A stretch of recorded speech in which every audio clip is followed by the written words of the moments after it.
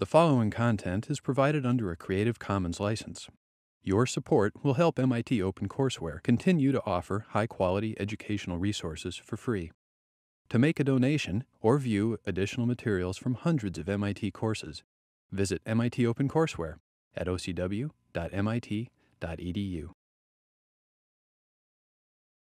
Today we're going to continue uh, discussing firm behavior, uh, but today we're going to uh, deviate from uh, our fantasy land of 1401 to come to the real world a little bit, uh, which is to talk a bit about whether firms actually maximize profits.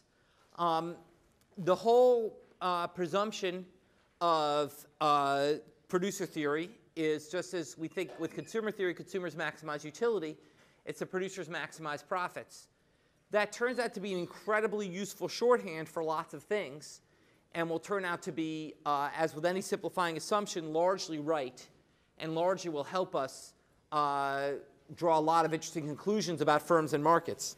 Nonetheless, it's clearly not right in reality for every firm. Um, for example, um, we see lots of firms doing things which look pretty wasteful, like big corporate jets or other things like that. Uh, more relevantly, uh, huge pay for CEOs seems pretty wasteful. So, for example, uh, in 2004, the net income of Eli Lilly, the drug manufacturer, fell by 29%, yet the CEO got a 41% raise to $12.5 million a year. Um, or even more so in the financial crisis, in 2009, Citigroup and Merrill each lost more than $27 billion. Pretty bad year for the financial sector, you might think. And yet their CEO's pay in each company rose by more than 10% to about $15 million. So in the worst year for the financial system since 1929, uh, the CEO pay increased in these two companies. So you might think that, gee, this sounds kind of off. How could we explain that? Well, there's two possible explanations. So one explanation is that things which look wasteful really aren't. That is that we pay CEOs a huge amount of money, but they're worth it. Uh, so for example, even at his ultimate salary of $33 million per year, Michael Jordan was vastly underpaid. By any reasonable economic analysis of the value he added to the Chicago Bulls, it was well in excess of $50 million. So even though he's paid $33 million, Michael Jordan was underpaid. Um, similarly, just because someone gets paid a lot of money doesn't mean that they're overpaid. These CEOs are very talented people and may be underpaid. Now, this is an argument you might have made with a somewhat straight face maybe 10 or 15 years ago. It's hard to make that with a straight face now. It's hard to believe that these CEOs these companies uh, aren't overpaid given their company performance and given the kind of facts we just talked about. Um, so a better explanation for things like excessive CEO pay is something which we call the um, agency problem. The agency problem. okay? And that's what I want to emphasize in today's lecture, is that in reality, um, we think of a firm as something where there's a guy who's an owner, he hires some machines and some workers, they make stuff that he thought of, and uh, you produce it and some profits made, okay? So the model we have in mind when we talked about the firm so far in this course is the model of what we might call a sole proprietorship or a partnership a model where one individual, where there's basically a commonality. The key thing to what we've discussed so far is a commonality of interest between the owners who own the company, okay, and the control of production. So the people who earn the money from the company also control the production. So when you start your startups when you graduate, okay, you will start them as a sole proprietorship or a partnership where you own the company and you control what's done. Okay, you're there 18 hours a day, making sure the guy's doing what they're supposed to do, uh, and you're the one who gets the money if they succeed or lose the money if they fail. Okay, and that's the model we've had in mind. We've thought about corporations or, or firms so far in our class. But in fact, most production in the US doesn't happen that way. Most production in the US happens through the guise of corporations. Okay? Corporations are marked by a separation of ownership and control. What defines a corporation is a separation of ownership and control. The owners of corporations are the stockholders, or what we call the equity holders. people who have invested money in the corporation. So the owners of the corporation are its investors, its stockholders, its equity holders. Okay? All of you, most of you, probably somewhere, you know, if you're Jewish, it's in some bar mitzvah gift you got. If you're not, it's in some other gift you got. Probably have some equity ownership in something somewhere. Okay? You maybe have a little bond which says you own five shares of GM that someone gave you because I thought it'd be cute or whatever. Okay, that's not worthless, but maybe some other company. Okay? Um, and we're equity holders, we invest in companies. But we don't make the production decision. The production decision is made by the firm's managers, who are employees of the, the owners, the equity holders. Okay? So now these managers may have some ownership, and we'll talk about that in a little bit. But by and large, the primary ownership of the firm is done by people who do not control the everyday decisions of production. And it sort of makes sense it has to be that way. When a company's as big as Microsoft, okay, you couldn't have me somewhere. I'm sure if you add up my, add up my various stock funds I own, I own a 0.0000001% of Microsoft. Okay? You, it'd be crazy to have me involved with a 0.00001% of the decision making. I don't know anything about anything that Microsoft does. Okay? It makes sense that there's a separation of ownership and control once companies get big enough. But the fact that there is a separation of ownership and control can lead to this agency problem and can lead to firms not maximizing profits. Okay? So basically, the point is that managers care not just about the profits they make, but also how happy their life is. And things which make their life happy may be things which aren't profit maximizing. The managers who are in charge of production may have their own agenda that deviates from profit maximization. And the problem is, it may be hard to figure that out if you're the owner of the firm. So the agency problem is the first example of a problem we'll talk about later in the semester of imperfect information. This is the first time we'll see imperfect information. We've assumed in our class so far, and we'll assume in our class going forward, that there's perfect information in the world, that everyone knows what stuff costs, that everyone can shop costlessly across providers, etc. But in fact, the world is marked by imperfect information. Okay? The, as an owner of Microsoft, as a you know, trivial owner of Microsoft, I don't know for sure that every Microsoft employee is doing what's profit maximizing for the company. I can't. Okay, it's just impossible for me to own that. So that creates an agency problem. And the agency problem arises because it's in the employee's interest to perhaps do things which aren't profit maximizing. So as a simple example, imagine that you're an investor in a company uh, that's a medium-sized company, and the head of that company is jealous because all his friends at bigger companies have their own jets, and he's got to fly commercial. He says, I want my own jet because I'm not cool enough. There's this great thing, okay, uh, there's this great episode of The Simpsons where um, Burns goes to the Billionaires Club, and he's in the Billionaires Club, and then eventually his wealth drops below, so he gets thrown to the Millionaires Club, and it's these yokels in the Millionaires Club. He's like, I want to be back in the Billionaires Club. Okay? The point is, managers of companies care about how they look and who they hang out with, and you've got this manager of a medium-sized company who wants his own private jet, but he knows that that's not profit maximizing. Because he knows that if he figures out all his travel and prices it out at competitive prices, it would be cheaper to just travel commercial. So what does he do? He puts together a glossy PowerPoint, which he presents to, the, to you, the owner of the company, showing that financially it would be more prudent to own a jet than to fly commercial. What he doesn't point out in putting together that PowerPoint is in putting together the commercial prices he used, he chose the highest rates from flying from point A to point B, not the lowest rates. Now, unless you're an expert on the cost of flying point A to point B, you won't know that. You'll say, well, that's a pretty impressive presentation. Yes, you can show us you saved 20% by having your own plane. Go get it. But it turned out he didn't save 20%. He just cooked the numbers in a way to make his life nicer, even if it wasn't profit maximizing. And it's impossible, that's an example of the kind of problem that arises with imperfect information. Okay? Now, and I could you go through examples all the time, but I, I don't think you need, I think you guys probably all understand what I'm talking about, which is there's lots of ways employees of companies might make their lives nicer that aren't profit maximizing. Now, corporations have recognized this from time immemorial, and they've recognized that their owners are too diffuse to monitor this. So what corporations do is they have set up an intermediary, uh, intermediary between the owners and the producers called the board of directors.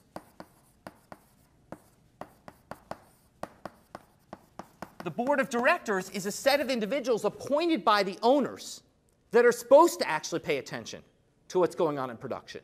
The owners say, look, we can't afford to pay, to pay attention, but we're going to appoint you, the board of directors, going to pay you quite a lot of money. A typical director on a Fortune 500 company will make 100,000 plus a year. Okay, it's a part-time job. Okay, we appointed you to keep an eye on the tools of production. The problem is the board of directors aren't that good at it either because it turns out to be really hard to figure out exactly what's going on. So, for example, and this is made worse because the members of the board of directors are often chosen by management of the company, by the people running the production, not by the owners. So they'll, they'll make selections of who's going to be on the board of directors, and they'll pack it with their friends who'll be nice to them. So, for example, Richard Grasso was the uh, CEO of the New York Stock Exchange. Uh, he started out in like the mailroom, worked his way up, became CEO of the New York Stock Exchange, and retired with a $187 million severance package, which was outrageous and totally unearned. Okay? But the board of directors was a bunch of his buddies who'd known him since he was a kid, and they said, he seems like a nice guy, let's give him a bunch of money. Okay? And a lot of the board directors, when actually grilled on it, didn't actually know he'd gotten that much. They were like, wow, we hadn't realized his retirement package was that big. So it turns out board of, having the board of directors does not solve the agency problem because there's still too much of an information imperfection between the managers and the board of directors, not to mention the managers and the owners. Okay, so what do we do? What do we do with this agency problem? Well, this was known for a lot of years. Okay, and about 25 years ago, the thinking was look, we, the way to solve this problem is we need to align the incentives of the managers and the owners. If we're going to solve this problem, we need to get the managers, the producers, to actually care about maximizing profits enough that they'll do that even if it makes their life a little uncomfortable. And how do we do that? We turn the managers into owners. We give the managers, the producers, an ownership stake in the company. We say, look, you now are going to be directly, your income's going to be directly derived from the profitability of this company. So now you'll have a direct incentive to do what's profit maximizing, even if it makes your life a little uncomfortable even if it means flying commercial, you'll recognize, gee, if I fly corporate and lower the company's profits, then I'm going to suffer. If I have my own jet, then I'm going to suffer. So we want to align the incentives. So we want to give them an ownership stake in the company. Well, how do you do that? How do you give managers an ownership stake? Well, there's two ways you can do it. One way is you can directly give them stock. So you can directly say, look, instead of paying you in cash, we're going to pay you in company stock. So your fortunes will di di directly be tied to the performance of this company. You pay them in stock, or alternatively, you can do something which turns out to be cheaper, which you can give them stock options. Turns out to be cheaper, at least in principle. We can give them stock options. So let's talk about what a stock option is, since some of you may deal with these along the way. Okay? The stock, a, a stock is a piece of paper which says you own 0.0001% of the company. A stock option is simply a piece of paper which says we are granting you the right to buy the stock at some price. Typically, it's today's price. So we're saying we're not giving you a share of the company. We give a piece of paper which says if the value of the stock today is 100, we give a piece of paper which says no matter where the stock ends up, you can always buy it for 100. Why is that valuable? Well, that's valuable because let's say you give a CEO of a company a million shares, a, a million options at $100 each when the price of the stock is 100. Well, if the price of the stock rises to 150, that CEO can then take his million options, say, I want to buy the shares for 100, which I'm allowed to buy these pieces of paper, and I'll turn around and sell them for 150. I've just made $50 million. So a stock option is valuable if the stock goes up, but it's worthless if the stock goes down. So it's kind of the ultimate incentive if you think about it, because what it says is to the CEO, look, we're going to incent you to do better and you make a lot of money by doing better, but, you, but, you, but if you do worse, you're not going to get anything. And as myself, as the owner, it seems great because it's cheaper, right? Because if the stock goes up, I share some with the guy, but I don't care. I'm happy the stock goes up. If it goes down, I don't have to give him anything. And in fact, giving someone a stock option costs effectively about half as much as giving them stock. So if I say today's stock price, if I instead of giving you a share of stock, I give you an option to buy a share of stock at today's price, the value to that, what it cost me in the market is about half of what it cost me to actually give you the share of stock. So it seems like the best deal. You get all the incentives for them to raise the price, but it costs you half as much. And in fact, um, there's been tremendous growth in use of stock and stock options. So if you look at figure 12.1, figure 12.1, now this sort of changes. Before 1992, there's only two categories, and after 92, there's three. So 492, it just is divided into salary, salary uh, and bonus uh, versus options. So you see there was essentially no options in 84. Okay, the mean, this is the mean CEO pay. So the typical CEO in 1984 made $500,000 and it was all cash, all salary and bonus. By 1992, they made about a million bucks and, and a decent share of it started to be stock options. Now, starting after 92, we actually break into three categories, which is salary, bonus, and options. Okay, but that doesn't really matter. The main thing is to pay attention to the option share, which you see grew astronomically. And so by its peak in about 2002, much more than half, first of all, typical CEO was making 35 million, uh, $3.5 million. Okay, second of all, the majority of that was in stock options. So basically, in fact, if you look at salary and bonus, it didn't grow that much over time. Okay, uh, if you look at you know 1992 versus 2002, over that decade, salary and bonus barely grew. Okay, but options went through the roof. So there's a huge increase in use of these, and the motivation is pretty basic economic intuition, which is what we're going to do is this is a cheap way to align the incentives of owners and managers. Okay? And that was why they took off, and everyone thought it was great. And people like Michael Jensen, Harvard Business School, made fortunes off having suggested this, et cetera. It was like we solved the problem. And remember, we did pretty damn well in the 1990s. Okay? And a lot of it people attributed to exactly what's in this graph. That by finally figuring out how to align the incentives of producers and owners, we'd, we'd figured out a way to change the economy. And we'd sort of, people thought we sort of entered this new, economy, new economic era of mass, massive productivity. Okay, well, people, as we know now, were wrong.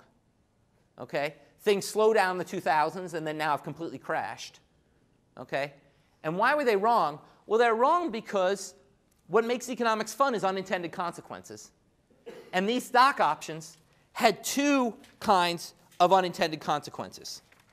Okay? The first unintended consequence is that they lead to excessive gambling.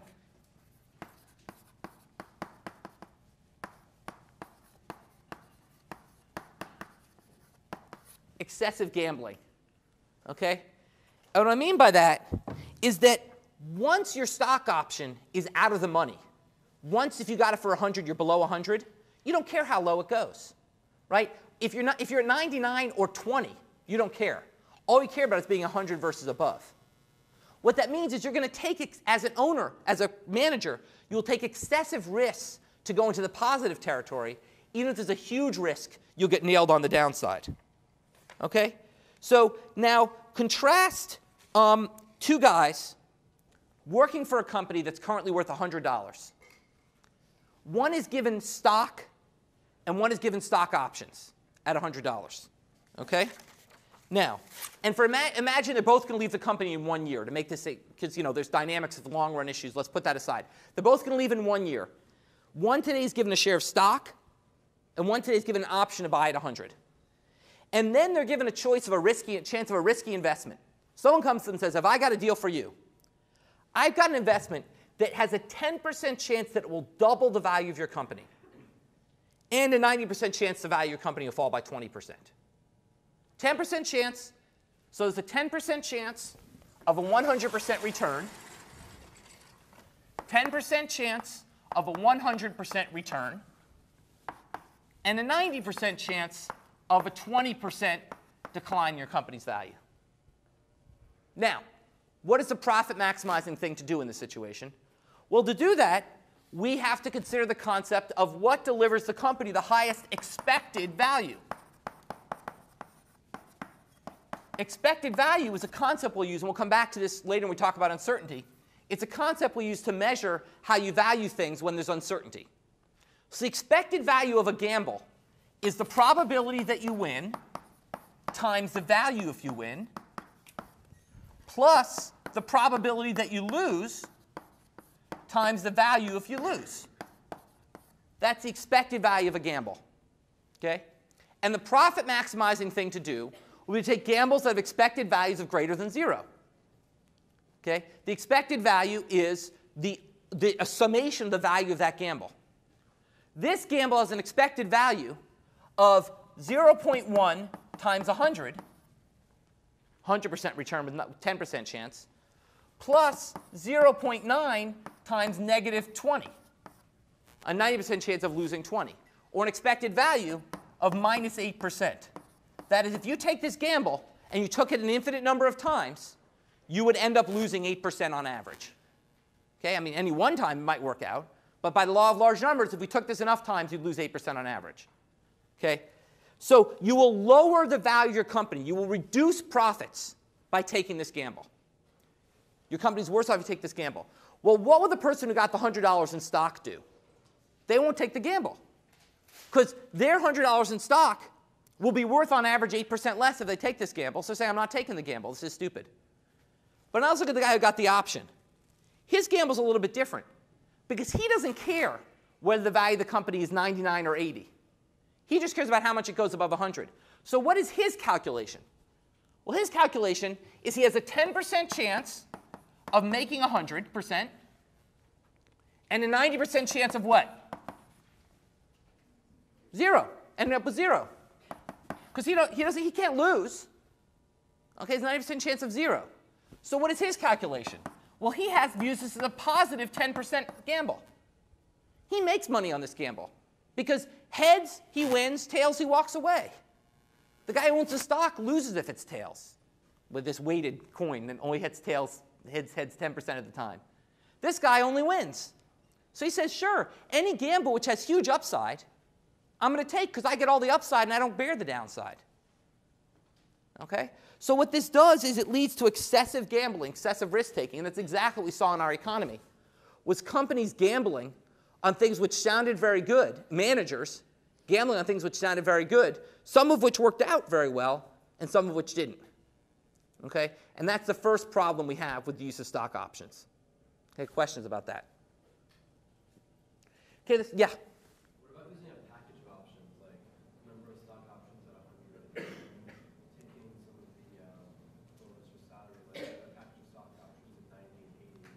Certainly, there are more sophisticated ways you can do that. I mean, there are certainly more sophisticated ways you can do that, but that's a great segue to the second problem with these, which is the second problem is who decided to structure the stock options? The managers. So the managers had executive compensation committees that designed the stock options the managers got. So the second problem was there was just outright cheating. So what you just described would be a great structure which would incentivize them maximally but would not make them the most money. So the second problem we had was outright cheating. So there's a wonderful investigation by the Wall Street Journal that investigated a whole host of stock option arrangements. And what they found was companies would frequently do what's called backdating stock options. What they'd say is, look, the value of the company just went up from 100 to 150 last week. Okay, we're going to give you an option at 100, and let's pretend it was issued before the company value went up. We've just given you money, right? You haven't, you haven't done anything to earn that. We've just given you money. And the Wall Street Journal found incredible evidence of, backdate, of, of uh, backdating stock options. So they had one CEO that got stick, they found he got six, yeah, I'm sorry. But is the company paying the money, or I thought it was like the market? The owners are paying the money. The owners. Because basically what happened, no. People who are buying the stock that he's exercising the option to? No, no, no, but here's the thing when I gave it to you, then basically I gave you something of value. I have to pay for that thing of value. Now, ultimately, the transaction happens in the market. But basically, in other words, I, let, I give you this option to buy the stock at 100. This is an important point that wasn't clear enough on. I give you an option to buy stock at 100. The stock's now worth 150. That means that stock I, I could have had at 150 as an owner and worth 150. But by letting you buy, take it at 100, Okay, I let you keep the extra $50 instead of me getting it. I have a share of stock, which as an owner is worth 150. Okay, I've essentially given that, I've given that to you. Okay, I've essentially transferred to you $150. So when companies do offer Yeah, exactly. You know, they'll keep some amount of shares. The owners themselves have the, the owners basically, basically the owners they will sell stock and they'll do offerings, but the owners own the majority of the stock. That's what makes them the owners. Maybe that's the right way to put it. Yeah.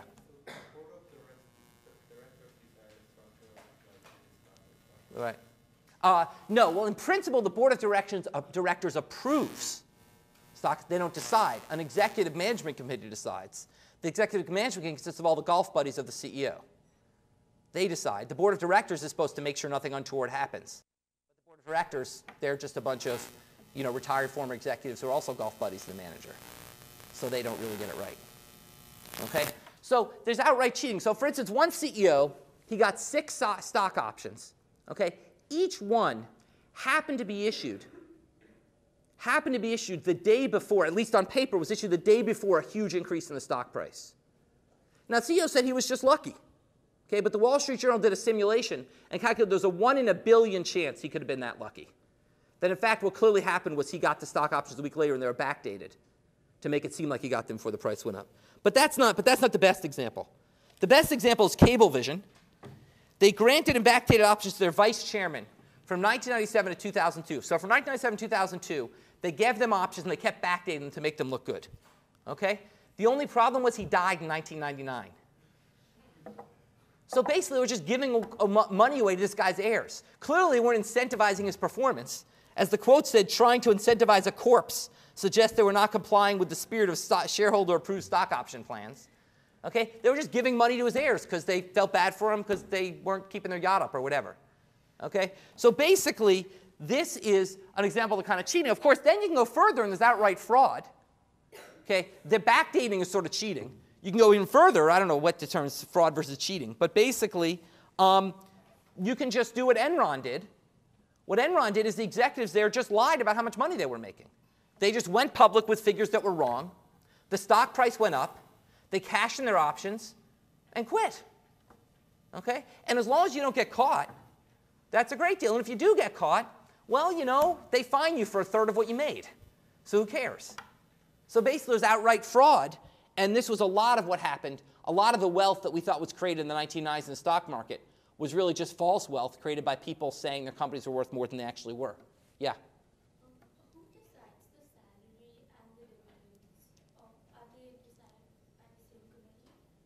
Um, no, basically, I mean, once again, it varies by company to company. But basically, the dividend payout would be something that a different set of managers would decide, once again, subject to the approval of the owners. But once again, the point is that the owners of a company, of a big company, are just a diffuse set of people who don't know what they're doing. Okay? The managers know exactly what they're doing. The board of directors is in between and is half clueless, half knows what it's doing. And that's at least the agency problem. And so basically, what's sort of interesting about this example is it sort of points out, like in many things in economics, why we're called the dismal science. Okay, there is no right answer here. Okay? On the one hand, if you don't incentivize your owners, then they might not do what's profit maximizing. On the other hand, if you incentivize your owners, they might do cheating to maximize their profits opposed to the company's profits. And that's why you need complicated structures, the type that suggest in the back. And that's why, for example, they find the companies with much more concentrated ownership, you know, the ones that Warren Buffett owns 20% of, they do a much better job in their CEO compensation than the ones where it's just a bunch of people owning a tiny, tiny percent. Um, so that's exactly the kind of um, the kind of difficulty you face in setting up executive compensation. Now, this is just this was a real sort of departure from the kind of things we've talked about. Just one example. This is really partly what we want to do in this course. We want to teach about basic economics. Partly want to excite you about what else you can go on and do in economics. Okay, I've just what I've just done the last half hour is a microcosm of the field of corporate finance. Okay, there's an entire field of economics called corporate finance. We teach it in course 15. And the terrific courses, 15401 and 15402, are the introductory courses. And if you find this stuff exciting, as I'm saying some of you are, that's a great place to take learning this course and go on and actually dive in. Realize that half the stuff I've told you, I'm talking my ass. I don't really know for sure. But those guys do, okay, in course 15. And you can really under, un, get into these agency relationships and understand how corporations work and how you set up these kinds of compensation arrangements. Um, so this is kind of just a very exciting area. It does, now we're going to go back after this and assume corporations maximize profits again. And once again, as with any assumption we make, by and large it's right, and by and large it will deliver the kind of important knowledge that we know about how firms function. But it's important to remember that these kinds of things are behind it. What we do in this course is teach you the basics. Then you go on in these other electives and actually learn about these kind of more interesting tweaks than what we do here. Okay? Any other questions about this before I move on?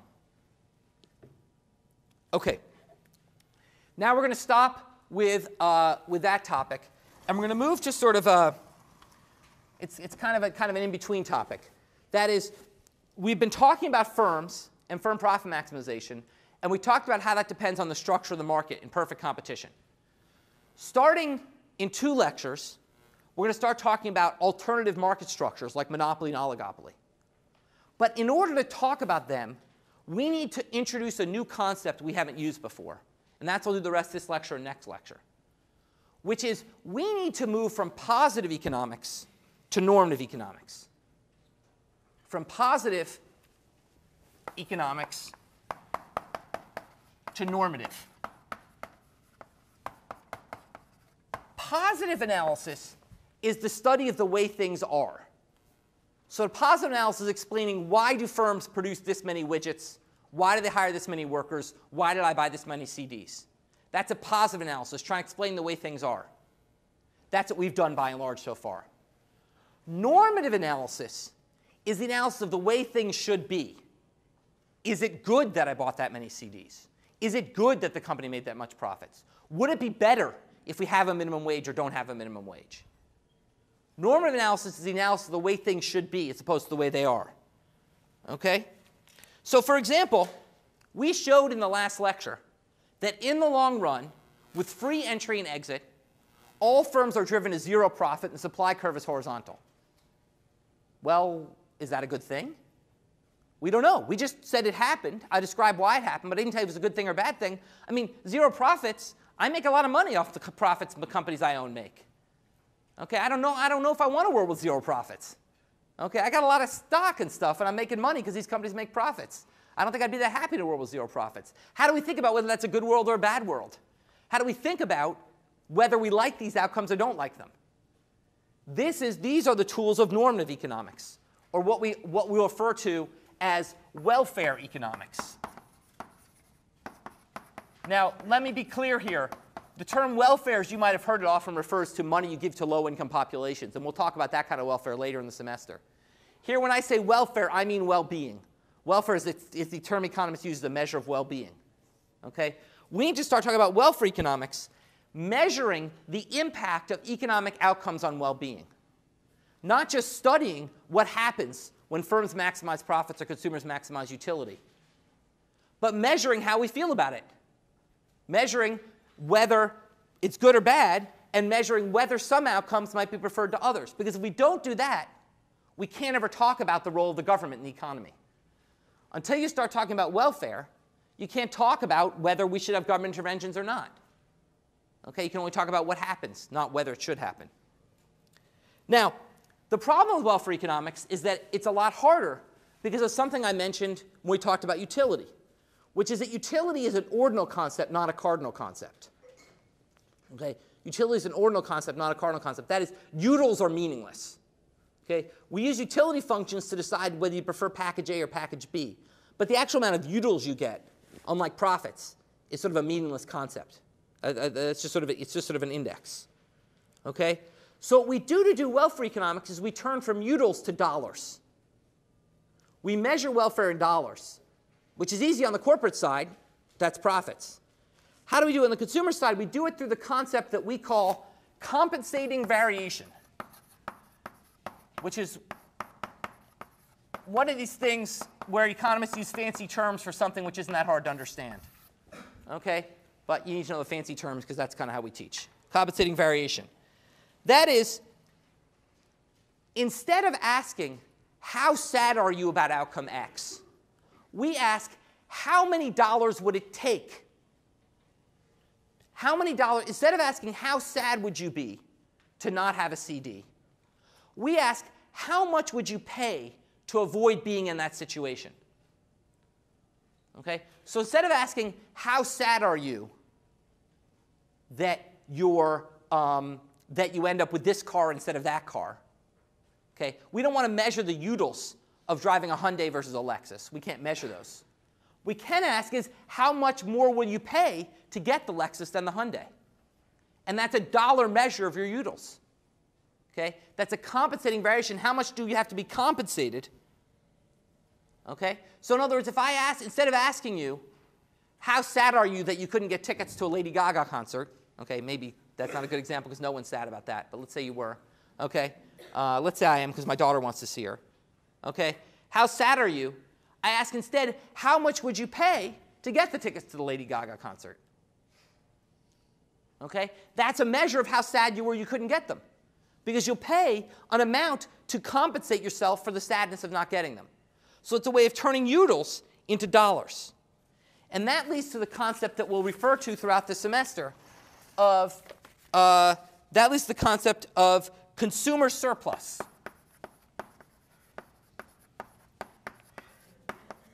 Consumer surplus. Consumer surplus measures the benefit that a consumer gets from consuming a good above and beyond what they paid for the good.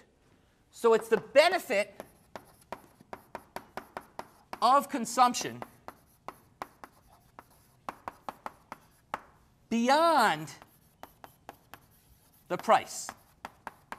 So your consumer surplus, surplus means extra. It's how much you enjoy consuming something above and beyond what you had to pay for it. Okay? In other words, the idea is if you only if you have to pay exactly what you exactly as much you enjoy the good, there's no consumer surplus. So let's do an example. So consider my demand to buy a Lady Gaga CD. Okay? I got to update my examples. You guys don't buy CDs anymore. How many of you have bought a CD in the last year? Okay, let me ask another question. This won't be the record, just because I got to decide how hard a time to give my 16 year old son. How many of you typically pay when you buy a song? Wow. Okay, let me ask you, how many of you typically don't pay when you buy a song? Okay. Well, when you get a song, when you download a song, you know what I mean. When you download a song. So majority don't pay when you download a song. Interesting. Okay. Um, all right. So, um, so consider my demand. So I'll update this next year, but for now we're still 10 years ago. Consider my demand for Lady Gaga CDs. Okay, I'm trying to decide whether to buy the marginal CD. Okay, and let's say that I, it's worth $15 to me. That I'd be willing to pay $15 for Lady Gaga CD. And let's say the price is $15. Okay? In that case, I, there is no surplus to me. There's nothing extra. I've paid what I was willing to pay. So that's a case of a zero consumer surplus. Consumer surplus is how much extra I got from consuming. I got no extra. It was worth 15, I paid 15, no surplus. Now let's say that the price was $10. Then I got surplus. I got $5 in surplus. I was willing to pay 15. It makes me $15 happier to have this Lady Gaga CD. Okay? But I only had to pay 10 for it, so I've derived some surplus. Okay. Well, how do we know what people's willingness to pay for a good is? The demand curve. That's the definition of the demand curve. The demand curve measures your willingness to pay. So let's go to the second figure. Okay, think about the demand curve for CDs. Okay? There's some demand curve for CDs.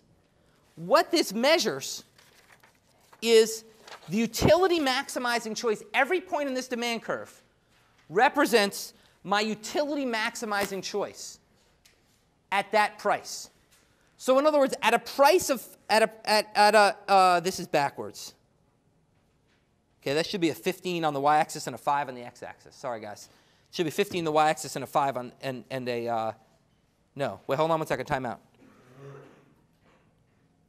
At 5, I get no consumer surplus. So at a price, that should be, uh, yeah, this graph's kind of messed up. Let me draw a new one here, okay? Okay, so you've got my demand curve for CDs. Okay, you got the quantity and the price. Okay, and I've got um, and I've got some utility function. Okay, that delivers this uh, this um, demand curve. And let's say the way this works, this demand curve for CDs. Let's say the way this works is that I am willing to buy one CD okay, I'm willing to buy, if the price is 20, okay, I'm willing to buy one CD. Okay, so at a price of 20, I'm willing to buy one CD. So if I get that one CD at 20, then basically that's my willingness to pay. It equals a price, so there's no consumer surplus. Really, sort of imagine it's right next to that y-axis. Now let's say the price falls to uh, the price falls to 15 uh, the price, I'm sorry, so the price of 20. Now say the price falls to 15. Okay? At 15, yeah, sorry, that's a 1. Sorry, that's a 1, that's a 20. Okay, at price of 20, I'm willing to buy one. At a price of 15, I'm willing to buy five. willing to buy five CDs.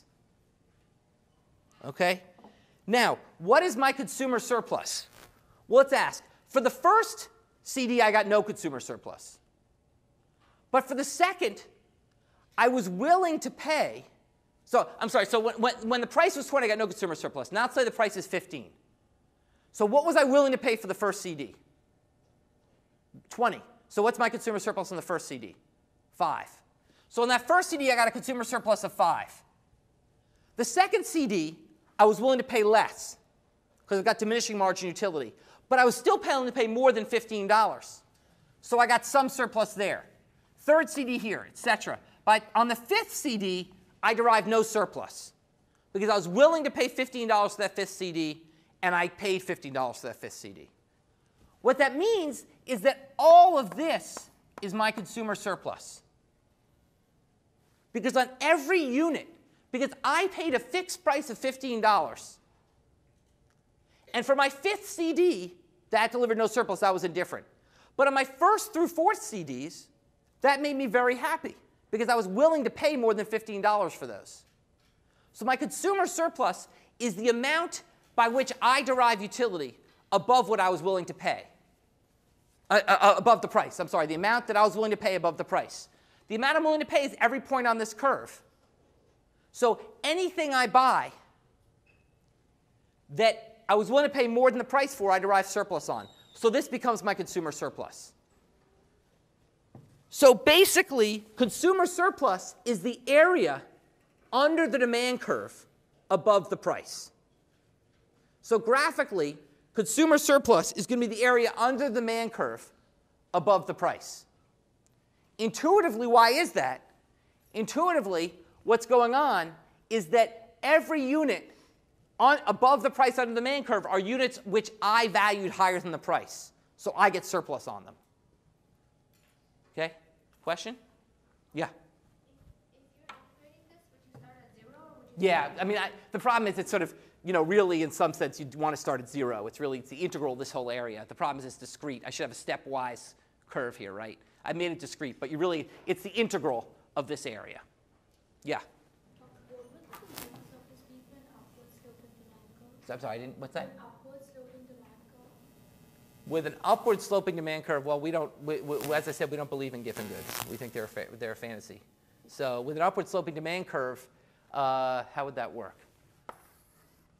Uh, so an upward sloping demand curve, then that would say that uh, if the price is here, then you'd get like an infinite consumer, you'd have like an infinite consumer surplus. It wouldn't be well defined. Wouldn't be well defined. So I don't know how you do that. That's why we don't like upward sloping demand curves. Yeah? Question? No? Okay, so basically, um, what you end up with is this consumer surplus concept, which basically, as pointed out mathematically, is the integral of this area, but we're not going to make you integrate. It's basically this triangle, okay, which is basically all the units above the price uh, for which you're willing, all these for which you're willing to pay more than the price. And you get consumer surplus on every unit you buy up to the point where your willingness to pay equals the price. Okay? And that's our normative measure of welfare. Okay? That's our normative measure of how happy uh, you are. And the key that drives this is diminishing margin utility. That's why we don't like upward sloping demand curves. What drives this is diminishing margin utility. It's that each additional unit I'm willing to pay less and less for. Okay? So I'm going to get less and less surplus off each additional unit I buy. Okay? And that's going to be the key thing, the key intuition you guys have to remember is that last unit that I'm willing to buy at that price, by definition, I get no surplus on. Okay? Because the last unit I'm willing to buy, or I get, you know, 0.001 cents of surplus on. Because if I got a lot of surplus, I'd buy one more.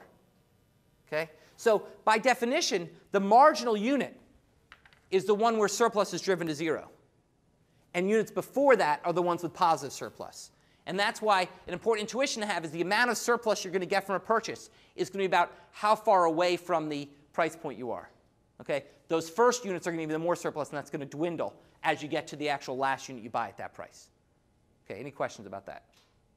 Okay, let me stop there. We will come back next time, and we're going to spend the whole lecture talking about welfare economics. When Jews producer surplus, and talk about how we then think about whether uh, changes are good or bad.